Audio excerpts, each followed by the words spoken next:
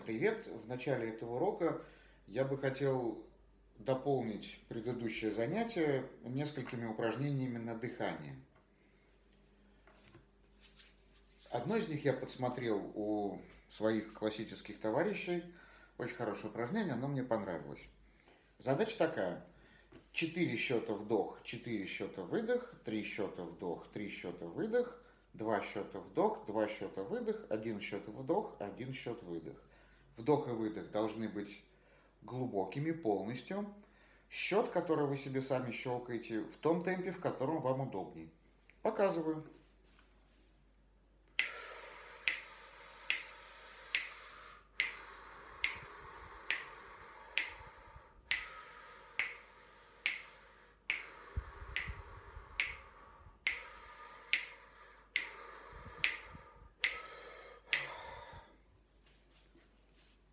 Очень хорошее упражнение, развивает и объем легких, и контроль за движением грудной клетки, как контроль за, за вдохом и выдохом. Очень рекомендую. Следующее упражнение позволит вам развить контроль за движением диафрагмы. Что вам нужно сделать? Вы берете ноту, можно на трубе, можно на мундштуке, можно базингом. Как вам это удобно? Я предпочитаю базинг, он очень оптимален для меня вы тянете ноту и толчками диафрагмы делаете как бы вау-вау-вау. Показываю.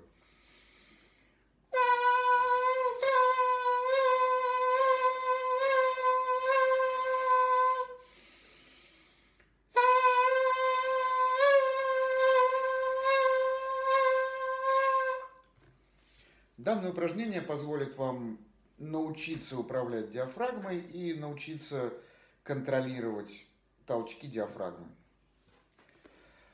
Хочу напомнить некоторые моменты из предыдущего урока еще по поводу горла. То есть состояние зевка нужно постоянно в себе культивировать, постоянно соблюдать состояние зевка во время игры на трубе. Зевнули и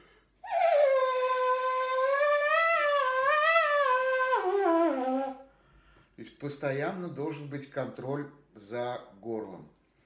Э, это состояние вот это вот э, раскрытого горла еще можно объяснить, когда вы, когда вы разговариваете шепотом, горло также расслабляется, связки не участвуют в процессе. Это примерно то самое.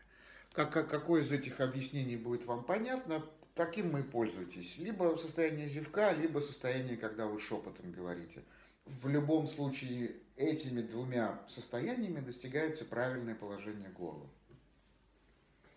Его еще иногда называют теплый выдох. Я хочу вам показать упражнение, которое поможет вам научиться контролировать правильное положение горла. При зевке кадык опускается вниз.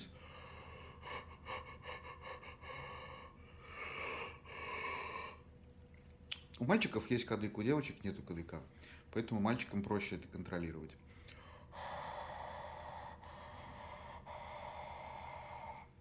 Вдох и выдох должны быть с одинаковым положением горла. Не должен меняться тон и не должен э, меняться сам звук этого выдоха.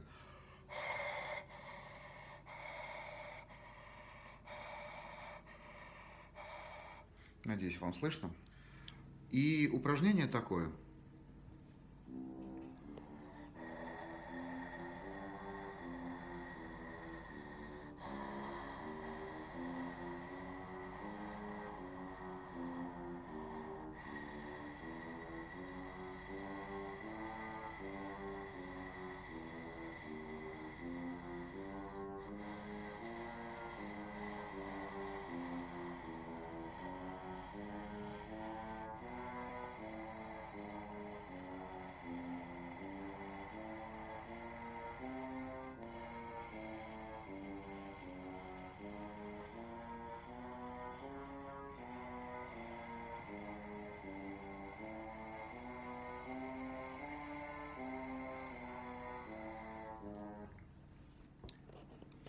Такое вот упражнение, оно играется на весь диапазон клавиши или пианино, что у вас там есть, как вам будет удобно. Очень важно, э, делать это упражнение сидя или опираясь на что-то, потому что с непривычки может закружиться голова. Еще один важный момент. Вдох и выдох на одном положении горла. И нужно стараться делать вдох и выдох на одинаковое количество сегментов в данном случае. И постоянно стараться увеличивать время вдоха и время выдоха. Фактически в идеале это должен быть длинный-длинный вдох и длинный-длинный выдох. Я хочу объяснить, для чего нужно играть себе гаммы. Дело в том, что у горла в таком положении есть тон. И играя себе какие-то гаммообразные движения на клавишах на пианине, вы приучаете горло к определенному положению, в котором оно делает определенный тон.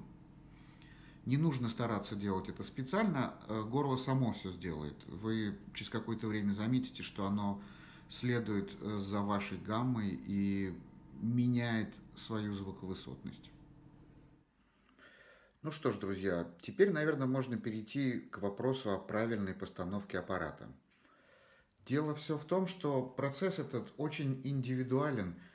Нужно уметь правильно анализировать состояние исполнительского аппарата, в том числе мышц амбушюра, лицевых мышц, зубов, строение челюсти – состояние дыхательной системы и общего физического развития человека, так как для игры на духовом инструменте требуется хорошая физическая подготовка. Только после такого анализа можно говорить о каком-то рациональном размещении э, мундштука на губах и какой-то рациональной постановке. Как вы понимаете, это очень-очень-очень индивидуальная история, и она требует, конечно же, личного присутствия опытного педагога рядом с вами.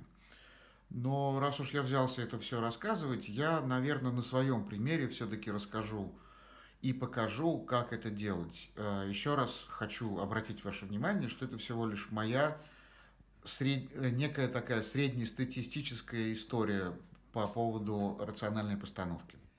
Для формирования более-менее правильной рациональной постановки – мундштука на губы, вам потребуется стержень от ручки и, собственно говоря, мундштук. Делается это следующим образом. Нужно взять стержень и зажать его зубами, чтобы примерно было 90 градусов по отношению к зубам. Потом насадить туда мундштук.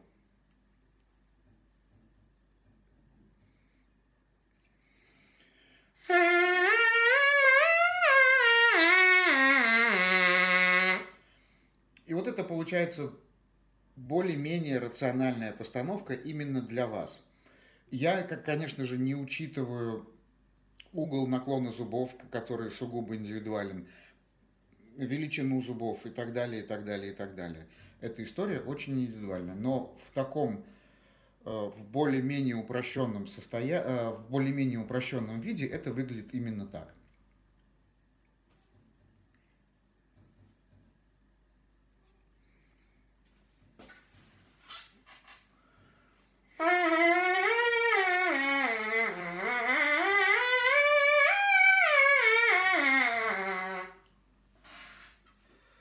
Это вот то, что касается именно угла наклона трубы и рационального расположения мундштука на губах. Вы легко можете проделать данную манипуляцию дома, запомнить свое положение, свое правильное рациональное положение мундштука на губах и попробовать так поиграть. Интересно ваш комментарий, интересно, что у вас из этого получится. И расскажите, пожалуйста, как продвигаются ваши опыты в этом?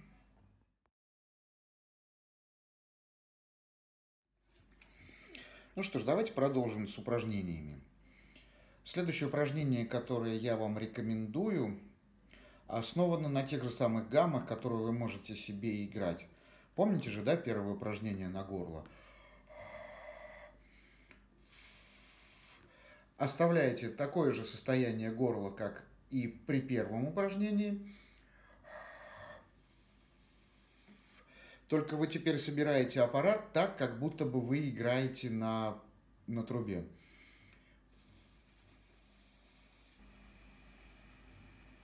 Воздух спокойно проходит сквозь губную щель.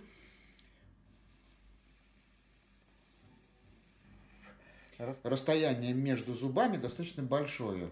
Больше, чем ноготь, э, э, ноготь большого пальца, либо ножка мундштука.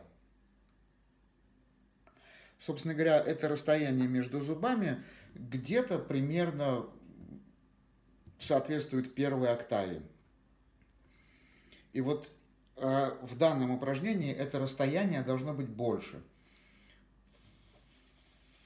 Но аппарат так, как будто бы вы играете. Собраны, напряжены уголки рта, собрано верхнее, нижнее полукольцо –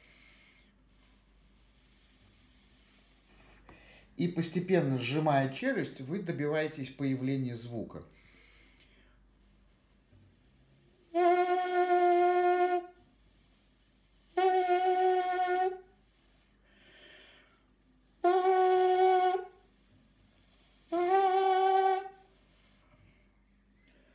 Состояние горла находится именно как во время зевка, как во время первого упражнения – состояние аппарата так, как будто бы вы играете на трубе. Двигается только нижняя челюсть. Она двигается туда-сюда ровненько, да, чтобы это было именно ровно.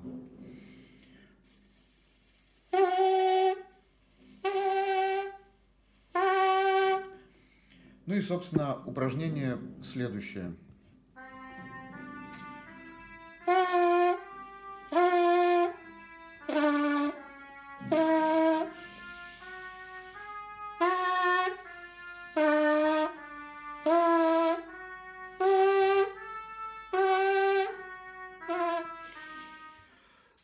Нужно обязательно следить за тем, чтобы воздух шел плотным потоком.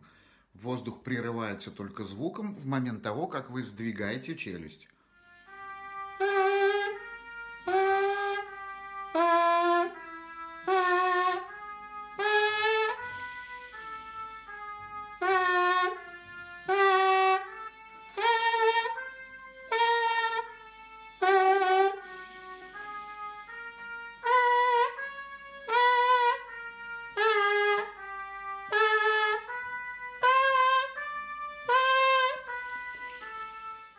Нужно практиковать это упражнение на весь диапазон в данный момент, которым вы обладаете.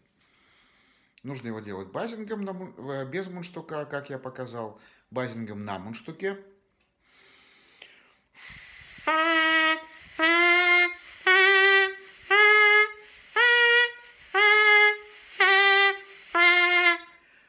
Ну и, собственно говоря, на трубе.